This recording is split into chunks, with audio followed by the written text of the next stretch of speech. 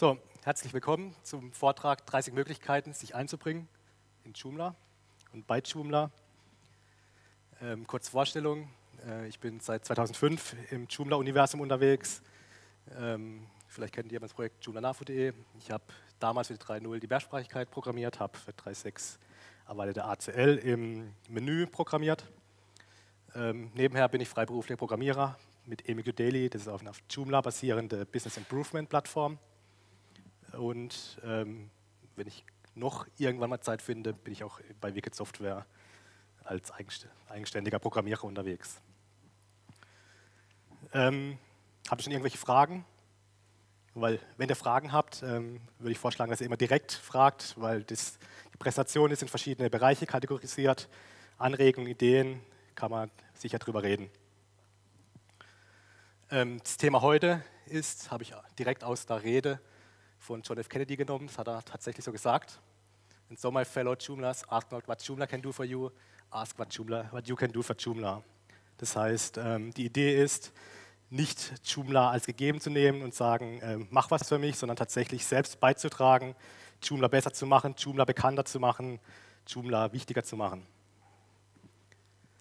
Ähm, und der erste Schritt, das noch gar nicht mal was mit Teilhaben oder was verbessern zu tun hat, ist, ähm, dass man sich erstmal vernetzen muss. Also man kann natürlich nicht allein im Keller irgendwo sitzen und sagen, okay, ich mache jetzt Joomla fertig, sondern wichtig ist, man braucht verschiedene Kontakte, man muss wissen, wer ist Ansprechpartner, ähm, wo finde ich Leute, wenn ich irgendein Problem habe, was kann ich, wen kann ich ansprechen. Und ähm, da gibt es verschiedene Möglichkeiten. Erste Möglichkeit habt ihr schon alle erfüllt, besucht Joomla-Events. Joomla Days sind sehr praktisch, um Leute kennenzulernen. Ähm, World-Konferenzen, es gibt massenhaft ähm, Events.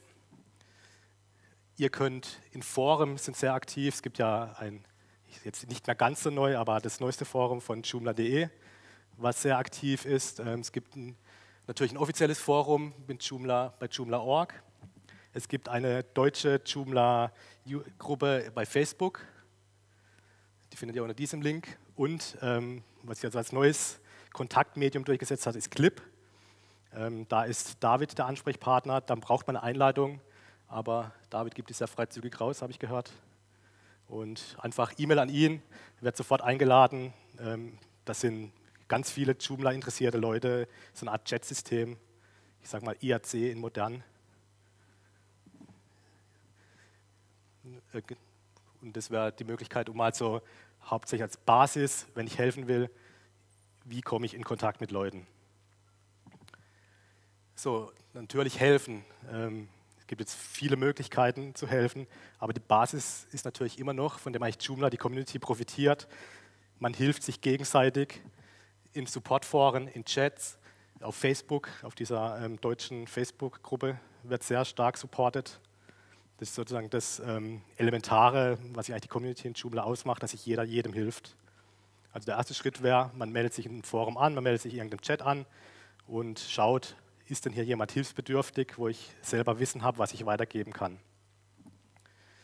Ähm, was ich auch sehr gern angenommen wurde, habe ich die Erfahrung gemacht, ist Abendkurse. Ich sage mal böse VHS ähm, als Beispiel. Das wird sehr dankbar angenommen, wo Leute sagen, ich habe irgendwie einen Verein, ich will irgendwas lernen und ähm, ich weiß aber nicht wo. Wenn man solche Kurse anbietet, wenn man das Wissen hat, ist es eine sehr gute Möglichkeit, um Wissen weiterzugeben. Und ähm, was ich vor kurzem erfahren habe, das heißt Coda Dojo, das gab es in und bei Nürnberg. Da wurde für ähm, Kinder ein Event veranstaltet, wo Kinder sozusagen an Joomla rangeführt werden. Ähm, ich sage mal, meine erste Homepage mit Joomla. Und es kam sehr gut an und die Kinder haben sich echt gefreut. Und wenn man solche Events veranstaltet, anmacht, dann an, ansetzt, dann ist das ähm, sozusagen die nächste Generation, hat man schon mal angefixt. Das nächste, was bei Joomla ähm, die letzten Jahre sehr stark vernachlässigt wurde, aber jetzt mittlerweile ähm, wieder entkommen ist, ist das Marketing. Das heißt, Joomla hatte teilweise einen sehr ja, schlechten Ruf, so ja, die Vereinswebseiten sind das, wo das machen, das sind so kleine Vereine, die machen halt Joomla, aber nicht im professionellen Umfeld. Und glücklicherweise hat sich jetzt seit, ich vielleicht jetzt so eineinhalb Jahre, zwei Jahre, hat sich bisschen die Denke geändert. Ähm, Open Source Matters, diese Hauptvereinigung, ähm, die Joomla, das ist der Dachverein von, oder das ist der Dachding von Joomla, ähm, hat sich ein Marketing-Team gegründet und mittlerweile ist die Idee, man soll positiv über Joomla berichten. Das heißt, ähm, gute Idee ist, wenn man rausgeht, Leuten von Joomla erzählt. Ähm, Brian Thiemann hat dazu einen, leider einen englischen ähm, Blogbeitrag geschrieben mit zehn Schritten, wie man Joomla gut präsentieren kann. Was sind die Ideen von Joomla? Ähm, wie wie ähm, komme ich zu Leuten hin? Wie mache mach ich den Joomla schmackhaft? Und äh, lohnt sich mal durchzulesen. Und als drittes gibt eine Joomla Marketing Gruppe, die ich erwähnt habe. Da ist die Elisa. Wink doch mal bitte, Elisa. Ähm, sogar deutschsprachig. Die suchen immer Leute, die da.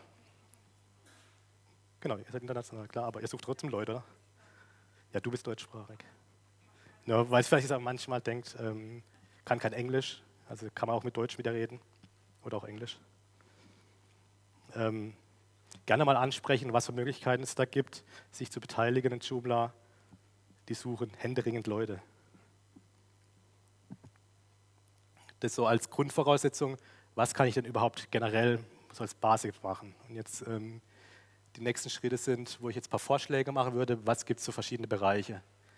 Zum einen ähm, Dokumentation. Jeder, der mit Joomla schon gearbeitet hat, irgendein Wissen über Joomla. Es gibt diese offizielle Dokumentation docs.joomla.org, wo versucht wird, das ganze Wissen irgendwie zu sammeln. Das heißt, wer Wissen hat, wer gerne schreibt, gerne auf, dieses, auf diese Plattform gehen, sich anmelden und mitarbeiten. Dazu gibt es dann auch gleich im nächsten, nach diesem Vortrag, im Raum Mitwahl eine Session von Mike. Da ähm, wird euch dann mehr dafür, dazu erzählt. Ähm, bei, was natürlich auch interessant ist, Joomla gibt es natürlich nicht nur in Englisch, sondern in vielen Sprachen. Ähm, dazu gibt es dann ein, mittlerweile in Joomla ein Translation Working Group, die von diesem Javier Gomez ähm, unterstützt oder geleitet wird. In Deutschland ist es das jgerman.de. Die suchen auch immer Übersetzungen. Wenn ihr in der Übersetzung Fehler findet, könnt ihr da gerne teilhaben. Da gibt es ein Upload-Formular, wo man Fehler melden kann. Da kann man sich direkt an diese Leute wenden. Oder die Dokumentation selber von ähm, docs.joomla.org wird mittlerweile nach und nach ins Deutsche übersetzt. Wieder gleicher Vortrag von Mike. Nächstes Ding, da wird dann ähm, euch mehr dazu erzählt. Genau. Also ist direkt ein Workshop dabei. Noch besser. Ähm, natürlich, ähm, das Hauptding, um Joomla selbst besser zu machen, ist Fehler zu finden, Fehler zu melden. Ähm, das gibt es diese neue, wieder relativ neue Plattform issues.joomla.org. Da kann man dann Bugs melden, kann ähm, vielleicht sogar Leute finden, die einem die Bugs ähm, reparieren oder man kann sogar selber Bugs fixen. Da ist der Viktor Vogel sogar ähm, Teamleader in diesem Team. Also wenn man da Interesse hat, gerne, da müsst ihr irgendwo draußen beim Stand, glaube ich, neben der Tür stehen, mal ansprechen, was für Möglichkeiten es gibt.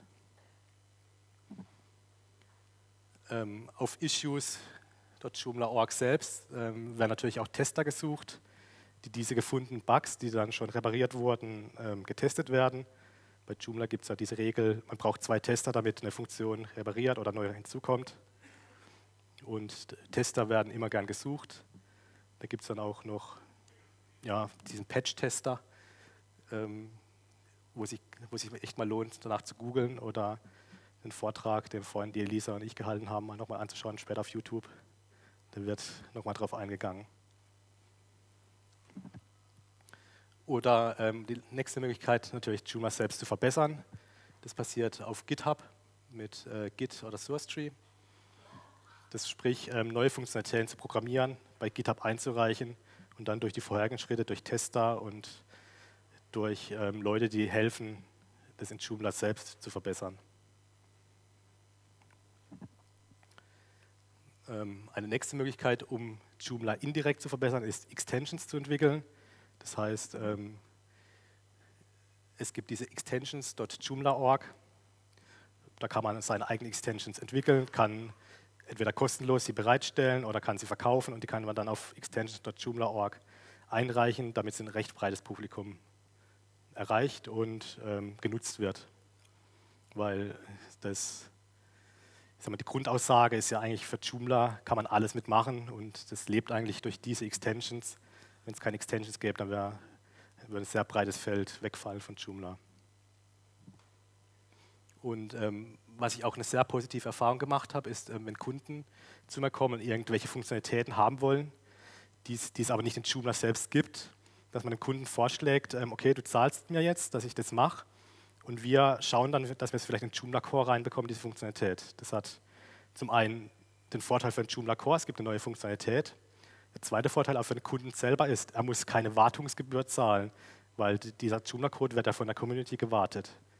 Das, das, begeistert eigentlich recht viele Kunden, die sagen, okay, ich zahle einmal eine Funktionalität, die kommt in den Core rein und wird dann für mich sozusagen von fremden Leuten kostenlos gewartet. Und kommt natürlich ein bisschen auf die Funktionalität an. Wenn es jetzt ein völliges Geschäftsmodell ist, wird das, wird das äh, nicht passieren.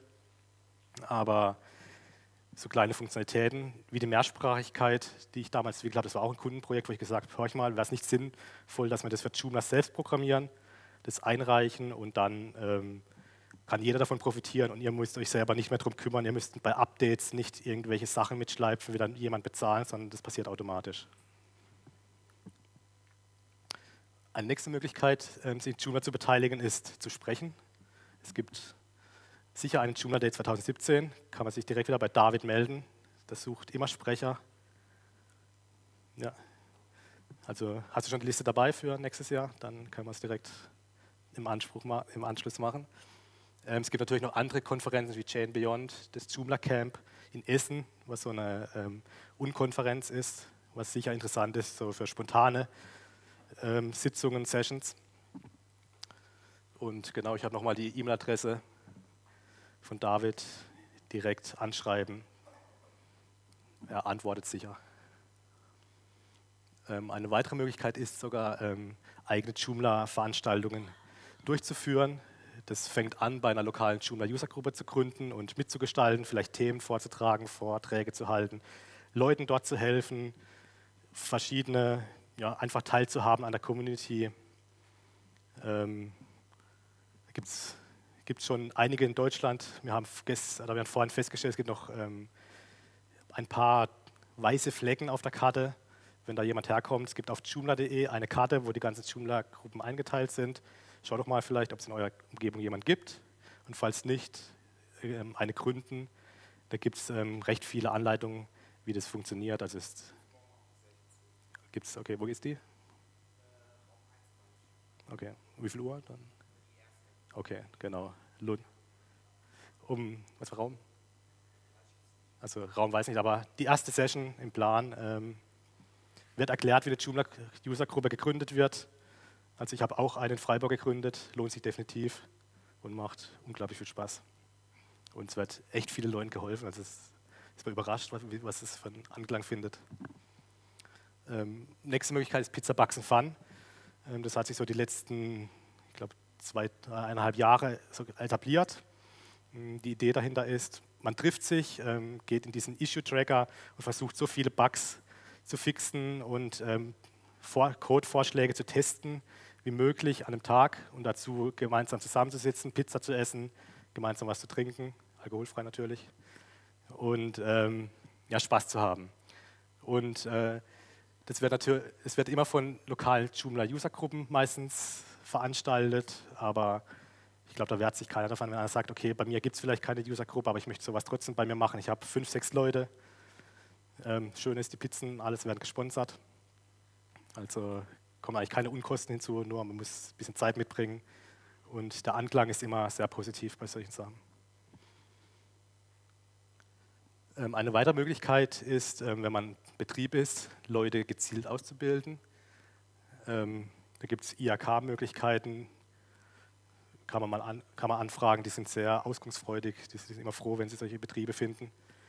Ähm, ist natürlich schön, wenn man so irgendwie mit Joomla arbeitet im Betrieb selber und das Wissen dann weitergibt und vielleicht auch Zertifikate oder irgendwas dadurch erreicht seine Mitarbeiter. Das ist dann immer ein Aushängeschild für den Betrieb. Ähm, es gibt den Google Summer of Code. Die Idee ist folgendes: ähm, Studenten können sich für irgendwelche Themen bewerben, die vorgegeben werden, Joomla bedingt, und dann gibt es Mentoren, die dann ähm, diese Studenten unterstützen, ihr Thema umzusetzen. Da ist zum Beispiel, wenn ich das richtig in Erinnerung habe, die Berechtigungen, glaube ich, sind damals über das Google Summer of Code teilweise die Ideen vom neuen Media Manager sind aus dem Google Summer Code Projekt entstanden. Also ist immer schön, junge Leute im Prinzip zum, als Mentor zu unterstützen und die weiterzubringen. Aber unabhängig von diesem Google Summer of Code, ähm, Mentor selber zu sein, ist auch eine Idee. Ähm, es gibt echt viele Leute, die in Foren unterwegs sind, die irgendwelche Ideen haben, vielleicht nicht die Fähigkeiten haben, das dann umzusetzen. Und dass man nicht sagt, okay, äh, was, wenn du nicht kannst, hast du Pech gehabt, sondern sagt, okay, komm, ich helfe dir. Ich schau mal, ähm, wie bekommen wir zusammen hin, ich zeige dir, wie das geht. Und damit ähm, ja, Leute weiterhilft. Ähm, nächste Möglichkeit ist dann wahrscheinlich interessant für Firmen, ist ähm, Joomla-Events zum Beispiel zu fördern. So ein Joomla-Day kann natürlich nicht nur mit Luft und Liebe gemacht werden, man braucht natürlich ein bisschen Geld. Und, aber ich denke, es lohnt sich definitiv für Firmen, dass man sich da investiert, dass man sagen kann, ich bin äh, Joomla Day Sponsor. Ähm, dann kommt er hier, sieht er, wer alles Sponsor ist.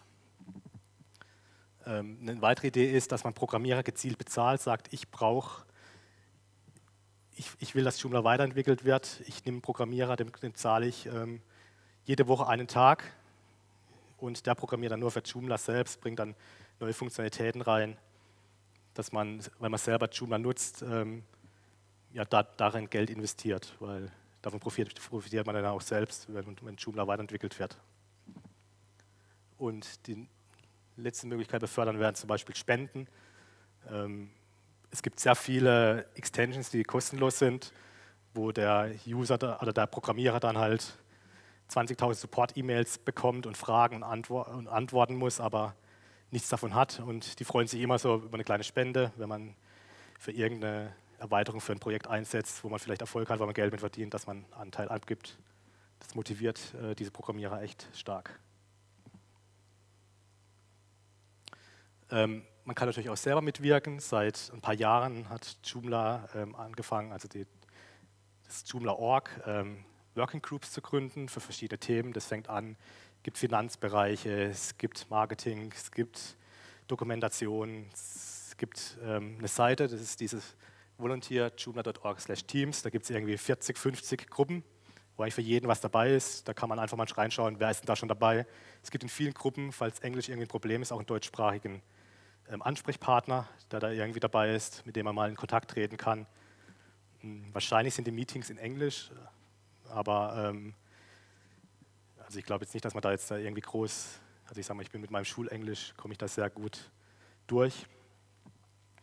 Und ähm, da ist eigentlich für jeden was dabei, wo man reinschauen kann, sagt, ich interessiere mich, was ich für, für Sponsoring-Pakete machen. Dann gibt es in der Finanzgruppe einen Unterbereich Sponsoring-Pakete, obwohl es jetzt nichts direkt mit der Programmierung zu tun hat von Joomla, ist halt trotzdem Teil von Joomla, was Joomla sehr stark fördert und weiterbringt. Und mal als Beispiel rausgenommen, es gibt ja das Joomla 4 und das Joomla X, wo noch ein bisschen undefiniert ist, was da kommt. Das ist sozusagen eine neue, Gruppe.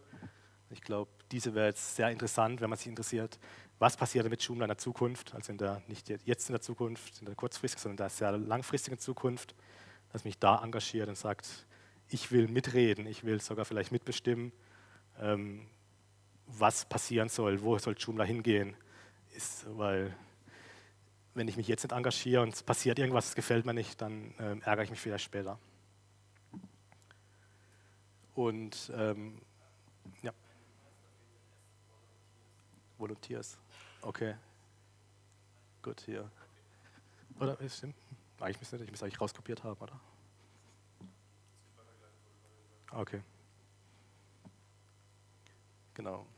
Ähm, und das nächste, ähm, bewerten. Es gibt dieses extensions.joomla.org und ähm, das hat, glaube ich, irgendwie 4000 Extensions und hier ist immer recht schwer, wenn man viele Extensions hat, die keine Bewertung hat. Also das heißt, wenn ihr eine, Be eine Extensions einsetzt und nutzt und die vielleicht für gut befindet, ähm, ist echt wichtig, die zu bewerten, damit die anderen sehen, okay, diese taugt was, diese taugt vielleicht weniger. Wichtig ist natürlich auch, wenn eine Extensions 10.000 gute Bewertungen hat, sie funktioniert bei euch nicht, liegt es wahrscheinlich nicht an der Extension, sondern vielleicht habt ihr einen Fehler bei der Einrichtung gemacht. Deswegen, also wichtig ist, dass die, diese Bewertungen nicht solche Frustbewertungen sind, sondern ehrliche Bewertungen, die dann fair gehalten werden. Und ähm, bei mir, was für mich als immer wichtig war mit meinen Extensions, ich habe zwar, wenn ich sie freigegeben habe, kostenlos sehr viele Anfragen so bekommen und kann man das reinbauen, kann man das reinbauen, aber nie wirklich, wenn was funktioniert hat oder wenn was nicht funktioniert hat, ein Feedback im Sinne von, ähm, hör mal, das geht hier nicht in dieser äh, Einstellung, sondern es wurde dann weggeworfen. Und so als, als Programmierer ist es sehr wichtig, dass, dass die Leute einem sagen, hier funktioniert das nicht, unter diesen Bedingungen kannst du da mal schauen und ähm, vielleicht selber dann nicht mehr weiter nutzen, aber dass halt der Programmierer eine Rückmeldung bekommt, was, was, was funktioniert, was funktioniert nicht. Da sind nämlich immer sehr, sehr froh drüber. So, hat jemand mitgezählt? Wie viel waren das jetzt? Waren schon 30? Hat vielleicht sogar jemand noch Ideen? Gibt es sogar vielleicht jemand hier in, in der Joomla-Gruppe, der händeringend Leute sucht, Helfer sucht und der noch nicht hier erwähnt wurde?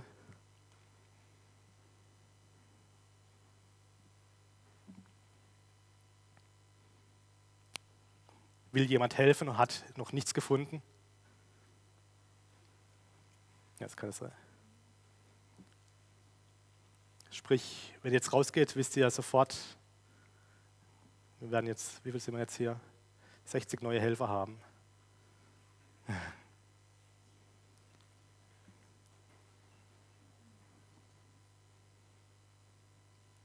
Scheinbar ja.